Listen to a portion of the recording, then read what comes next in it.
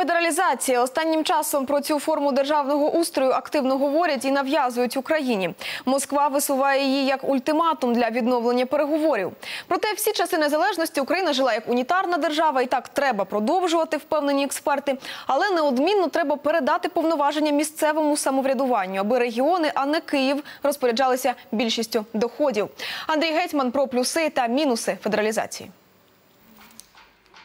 Федералізація цей термін дедалі частіше звучить в українському політичному житті, якої бути Україні говорили з першого року незалежності. Однак, поки дискусії тривали про федерацію чи унітарний устрій, держава жила за принципами радянської України, єдиної центром у Києві.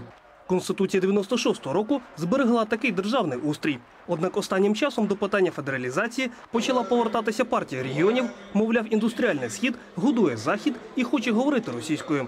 Нині цю ідею вже як ультиматум висуває Росія як умову відновлення діалогу з новою українською владою. Водночас те, що в країні існують регіональні відмінності, не означає, що потрібна саме федерація.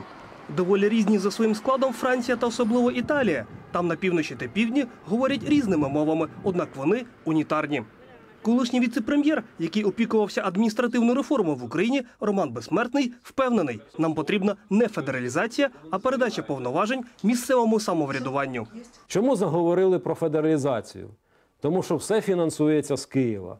А так не може бути. Це просто київського, е, київського імператора нинішнього замінить на регіонального.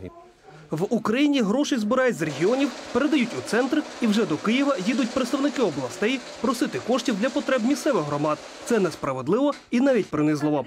Світовий досвід останніх років показує, замість того, щоб усе вирішувати у столиці, повноваження передають на місця. Школи, лікарні, ремонт будівель і доріг усе це краще планувати в регіонах ніж у центрі. Це означає, що федеративні держави еволюціонують в сторону регіоналізації. До речі, і централізовані унітарні держави в Європі теж еволюціонують ту саму сторону. Більшість світових федерацій склалася історично. США це 52 штати, які в різні роки входили в країну. Вашингтон відповідає за зовнішню політику і фінанси. Кожен штат має свою юридичну систему та навіть кримінальні закони. Так само поліція кожного штату підпорядковується саме мешканцям цього регіону. Американці платять в бюджет країни податок з доходів, а от кожний штат має свої збори, зокрема на нерухомість, які можуть відрізнятися у різних регіонах. Німеччину в єдину Україну об'єднав у 19 столітті канцлер Бісмарк із численних князівств і міст. Але регіональні відмінності тут чималі. Тому у 20 столітті держава складається із федеративних земель із сильними повноваженнями. Однак у Німеччині заведено домовлятися. Регіони зі столицею щороку визначають, яка частина федеральних податків піде в центр, а яка залишиться. А вже Берлін допомагає біднішим землям дотаціями.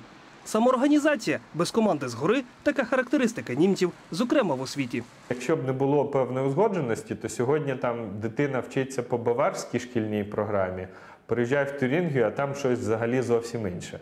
Тобто для того, щоб цього не відбувалося, є певне узгодження, є певні стандарти, про які домовляються в такому добровільному режимі. Тут немає якогось органу зверху, який примушує до цього. Тому зміна державного устрою України шлях до розколу держави, вважає Юрій Ключковський. Регіональне самоврядування так, але політична автономія в жодному випадку ні. Тому мені здається, що федералізм це пастка, куди нас тягнуть для того, щоб розчленувати українську державу, розколоти її на куски і поглинути по частинах. Вміння домовлятися і чути один одного неодмінна умова для успішності будь-якої держави, незважаючи на державний устрій. Андрій Гетьман, Ольга Ніколайчик, Дмитро Климчук. Факти АСІТВ.